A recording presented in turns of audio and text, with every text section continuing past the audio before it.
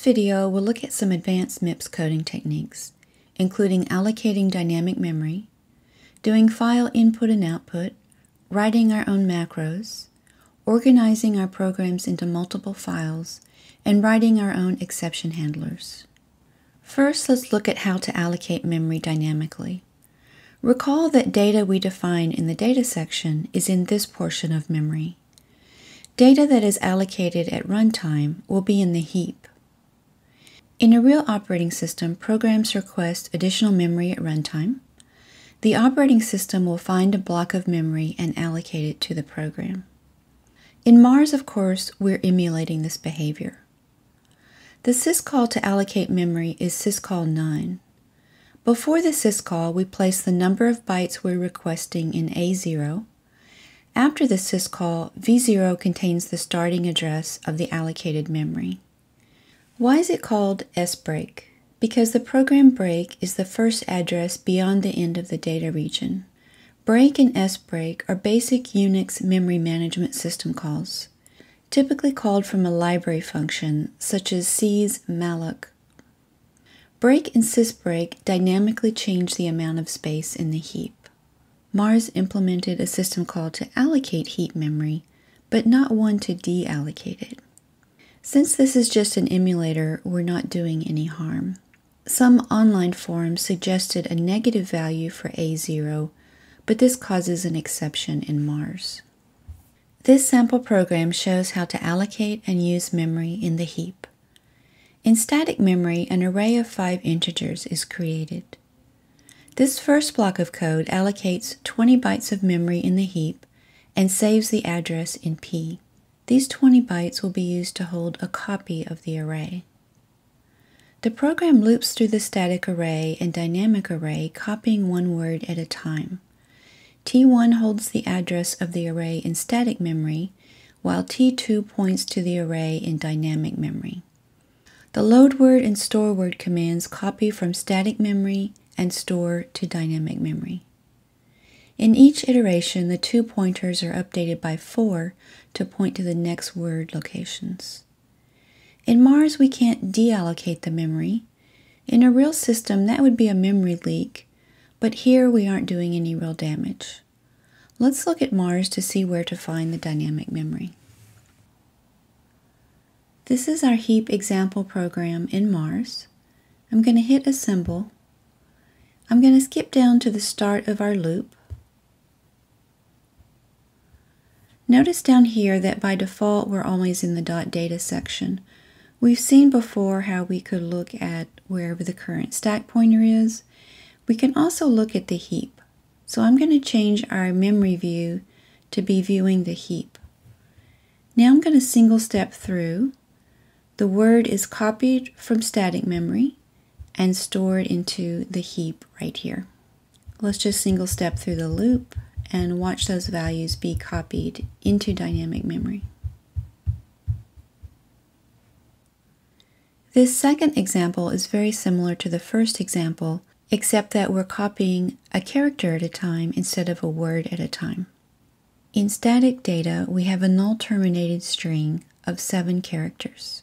We reserve eight bytes for that in the heap, the extra byte for the null terminator. Then we loop through in a similar way, again using T1 and T2 as pointers into static and dynamic memory. The difference here is that we're going to increment our pointers by 1 in each iteration to point to the next byte instead of by 4 to point to the next word. Notice that we can print the string from the heap by putting the address of the string into A0.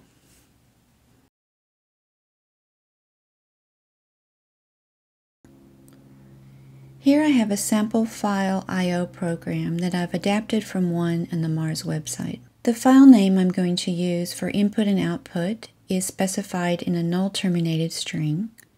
This program first writes the string about the quick brown fox to a file, closes it, then opens it again for read and reads it into an input buffer here. So first let's see how you open a file for writing. That's system call number 13. You have to load the address of the file name into A0 and set the flag A1 to 1 for write. Mode isn't used in Mars, but their sample program used it, so I went ahead and put a 0 there just as they did. Alright, after the system call, V0 will hold the file descriptor or file handle, and we want to save that somewhere so that we can access that file later. This block of code will write to the file that we just opened. System call 15 is the system call for write. A0 needs to have that file descriptor that we saved, and A1 needs to have the buffer address. We can also hardcode the length. After the system call to write to the file, we need to close the file. Next, we open the file again, this time for read. The only difference is that A1 has a zero in it. And then we read from the file into our input buffer. And just to show that that really happened, we print out the string that was just read. Let's give that a run and see what happens. We see several things here. First, we see our original string, and then we see after it was read, it was put into the buffer and also printed out here. Next, we discuss macros. Macros enable you to specify a set of instructions that can be invoked with a single line of code. Macros are expanded by the assembler by substituting the macro body for each use in the program. Although a macro conceals implementation details like a function does, it's implemented in a completely different way. First, let's look at how to define a macro. The dot macro assembler directive defines the start of the macro, and then the dot end_macro ends it. Between those two assembler directives is the body of the macro. In this first example, it's just the system call to end a program. To invoke the macro, you simply use its name. We can also send arguments to a macro, which can be a register or immediate value. Here we see a macro to print an integer. The percent %x will be replaced either by a register or by an immediate value. The dot include assembler directive is necessary if you want to include a file of macros into the current file. You should put the dot include above the dot data section.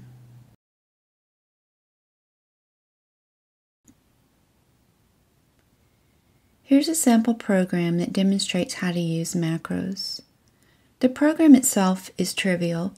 It just loads a number 5 into T0, squares it, and stores it. Notice I have an include statement here for the macro file. The macro file is in the same folder, I'm going to be using the printint macro, which just has the system call for printing an integer, as well as one to print a string. Looking back at the program, I can invoke the print string macro with the actual string in the parentheses. And I can invoke the print int macro with a register. Let's see how that works.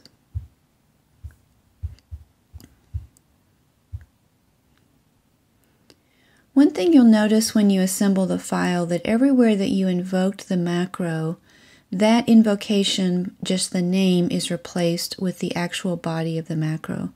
And so you see these extra numbers here in the extra lines of code inserted into your code. They can make debugging a little bit messier. As you work on larger projects, you may want to divide your code into multiple files and assemble them together. In Mars, the files should be in the same directory. Make your subs global with the .global directive. Then go to Settings, Assemble All Files in Directory, and then back to Settings, Initialize Program Counter to Global Main. The terms exceptions, interrupts, and traps are not used consistently among different people. An exception is any event that causes a change in the normal flow of execution. Interrupts are often external events, such as signals from sensors or other hardware devices, particularly in an embedded system. Traps are more likely internal events. When an exception occurs, the program's interrupted and a branch occurs to an exception handler, also called an interrupt service routine. The exception could be a fatal error, in which case the program needs to halt, or a recoverable error that can be serviced so that the program can continue. In MIPS, exceptions are handled by coprocessor 0. When an exception occurs, the system enters kernel, not user mode. Coprocessor 0 has four special registers. EPC holds the address of the offending instruction. Register 13 holds a cause code. Register 8 holds an address for bad exception. And 12 holds a status register. I have a list here for reference of cause codes. There are also special instructions to copy to and from coprocessor 0. As we've discussed before, MARS does not cause an exception on divide by 0. So that gives us an opportunity to write an exception handler to handle this. The exception handler code here was taken from the MARS website. In this program, I'm putting 5 into T1 and 0 into T2 then we have the trap instruction. This will trap if T2, my denominator, equals 0, and transfer control to the exception handler. The exception handler will basically print a divide by 0 error. Here's the exception example. Let's see what happens. I'm going to assemble. I'm going to set a breakpoint right at the trap instruction. Then I'll single step through the trap. The trap immediately moves us to the exception handler down here, and notice we are in coprocessor 0. The program first backs up a copy of V0 and A0 to preserve those values that may have been used in the calling code. And then here we see it actually printing the string, divide by 0. Then it restores those values from V0 and A0 gets the address of the offending instruction, adds 4 to it to point to the next instruction, and then returns. And notice we're back at the divide now. So we divide. Again, there's no exception, but at least we know that there was a divide by 0.